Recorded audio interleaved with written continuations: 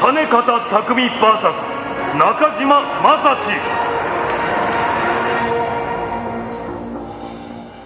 本日の第8試合ウェルター級67.5キロ3分3ラウンド延長1ラウンドの一戦です赤コーナー実方匠そして中島正史の一戦ということになりますこの試合解説は大崎幸喜選手グレイシー・アキさんですお二人ともどうぞよろしくお願いします。よろしくお願いします。さあ大崎選手ともにライズランカー同士の対戦ということで非常に楽しみですね。そうですね、えー、あの実方選手は階級上げての初戦なんで、えー、まあね、中島選手前回中野選手に敗れてるんで、はい、まあ、実方選手もそれは多分分かってると思うんですけど、まあ、ここで勝てばまたあの一気にベルトは近づくと思いますしそうですね、ルター級1位なんで実方選手からしたらすごい多い試合ですね。はい中島選手はそんな甘くないぞって、まあ、階級上げただけで勝てると思うなっていうところですよね。はいただ、まあ階級を1つ上げていきなりグレさんランキング1位の選手との対戦ということになります、実方。すごいですね、えー、積極的ですよそうですね白いトランクスが実方そして青いトランクスが中島です中島選手もやっぱ打たれ強いですからね。そうですね。ハーフキック蹴ってます。ただそうですね。確かにちょっと今ちょっと体勢崩しましたね。中島が少し体勢を崩しました。まあ共にオーソドックススタイルなんですけれども、実方は前の試合その前の試合と2試合連続でこうスイッチで、えー、サウスポースタイルなども見せています。ちゃんとカットしてますね。はい。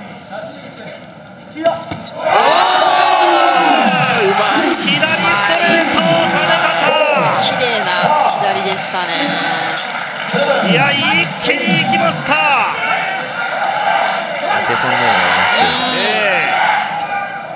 オーソドックススタイルでも戦える実方ですけれどもこの試合サウスポースタイルいやグレサ綺麗に入りましたね。入りましたね。ポジションがすごい良かったですね今ね。はい。これも左を振りに行こうというところ。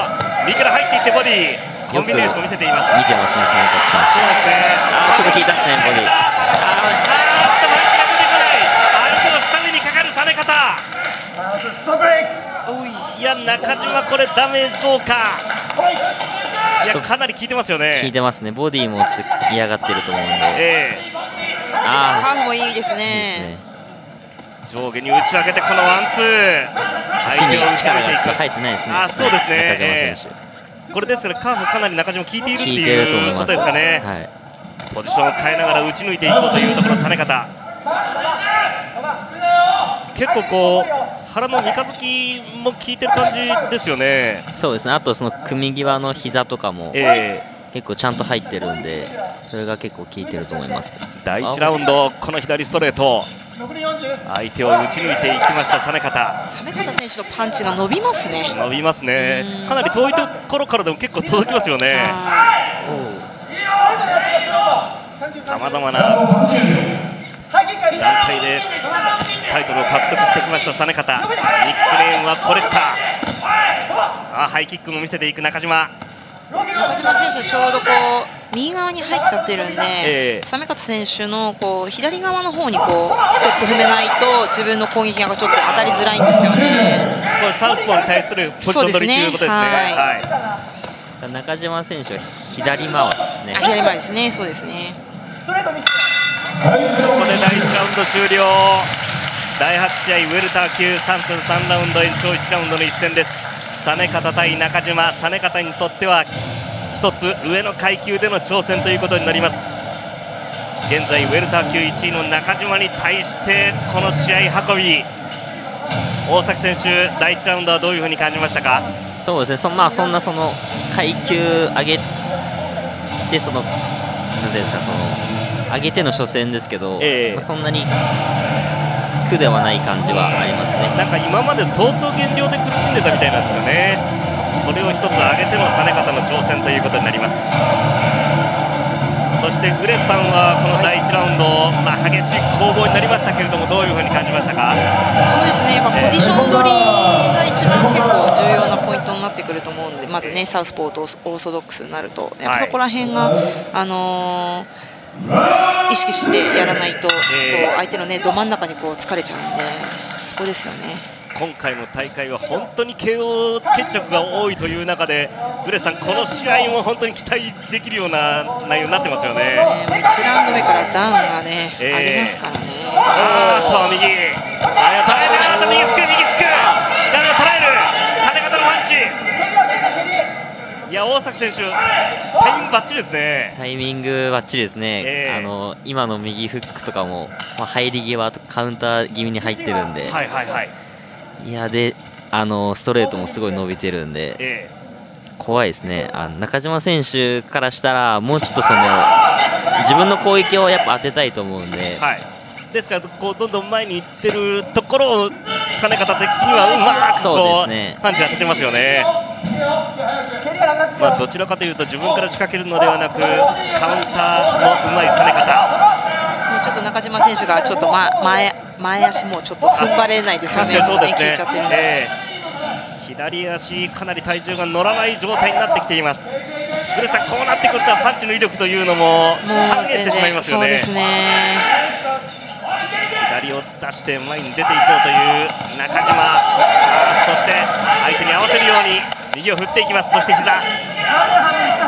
大崎選手、このされ方の膝も効果的ですね。そうですね、えー、あのボディも効いてると思いますし、はい、足もあのカーフで効いてると思うんで。パンチを出しているんですが体重が乗らない中島。非常に苦しい試合展開になっています。対するされ方としては自分のやりたいことがここまでは全部できているようなそして膝ワンキャッチワンアタックの中での膝。ローを返していこうという中島ですがさあこの苦しい展開の中で。でも中島選手、今みたいにこう右ローとか、えー、まあ、蹴れるんであれば蹴りからちょっとねつなげていけるといいんですけどね。そうですね。相手を追っていきます。ここはでもこう中島としても追ってった方があーとハイキック強烈。跳ね方の強烈なキックが顔面を捉えていきます。そしてボディを狙っていこうというされ方。追っていく中島ですがなかなかその打撃相手に届きません。大崎選手、これ中島としてはカーフかなり効いてますね。そうですね。ちょっと厳しい展開にはなってるんですけど、えー、あのー、まあ、カーフのそのカットの仕方仕方っていうか、はいはい、カーフカットすると結構蹴った側が痛いんですよ。そう言いますよね、はい。えー、なんで一発カットするだけでこうやっぱ蹴りづらくはなると思うんで結構全部ちょっともらいすぎちゃってるんでそういうところも一発カットすると実方選手的にはやっぱ蹴りづらくはなると思うんでそういうところから、はい。ね、カーフをカットするときにこうすねでカットする相手がかなり痛いっていう話ですよね。練習とかでもあのやるんですけど、はい、あのめっちゃ痛いです。そうですか。あの足の甲が本当痛いんで、あのそういうちょっとしたことをやるとまあ流れがやっぱ変わってくるとは思うんで、中島選手からしたらそういうとこからですからもうこれ以上はもらいたくないっていうところですね。蹴ってるその実方選手はあの蹴りやすいと思うんで、まあ、怖くないとどんどん蹴って自分のリズムが乗ってきちゃうと思うので少しでも相手に脅威のあるところを見せたいところですね。はいグレさんもあと1ラウンドというところになりますね。すね、ここね、はい、中島選手。さあ第3ラウンドです。白いトランクスが実方、そして青いトランクスが中島。前に出ていこうというところ。ここはオーソドックスに戻してますね。ま右。また右フック。顔面を捉えていきます実方。相手を追っていくそしてスイッチ。まあ大崎選手試合中にこうスイッチされるとこう距離感っていうのもまあ、お互いにですけれどもね、はい、えー、変わってくるっていう話です。まあ、実方選手は、まあ、それはその練習してると思うので、えー、そのサウスポーでもオーソドックスでも自分はやりやすいと思うんですけど、はい、相手からしたらスイッチされるとやっぱ距離感は全然変わってくる変わってきますよね。すごい効果効果的だと思います、はい、今もサウスポースタイル左のグローブを引いている実方距離を詰めてボディ。結構中島選手今ボディ結構嫌がってると思うんですよね、えー、なんで膝とかにまた入ってくると、まあ、第1ラウンドから中島も相当ボディもらってますよね。あカウンター。画面を捉えていきます、実方打たれ強い強いですね。これがウェルター級1位の意地。そこで後ろに下がた。中島ふらついた。がここでます相当いいパンチが大崎選手実方入ってます。入ってます、えー、けど倒れないですね。倒れませんね。中島の意地。ここは倒れなければそうあの逆転するチャンスはいくらでもあると思うんで、えー、ここもどんどん前に出ていきますが実方の膝が飛んでくる。体操を入れ替えて赤いコーナーを背負っている。中島。ここで膝あと残り時間が第3ラウンド残り1分を切ろうというところですがまあ今キャッチして2回攻撃しましたかね。そうですね。えー、イエローカードがされ方に与えられます。ここまで4本のベルトをコレクトしてきました実方匠ライズでは階級を2つ上げてタイトルを狙っていこうという構えまずはウェルター級1位の中島正史をここで仕留められるかカデル選手はねもう行かないとダメですね。はい、あカウンター。右を振り抜いていきました中島。さあ狙っていると。これ中島選手は倒されるつもりでもいかないと、えー、でも勝てないんで。ダメージの蓄積が膝を。襲っていきました。いいですね。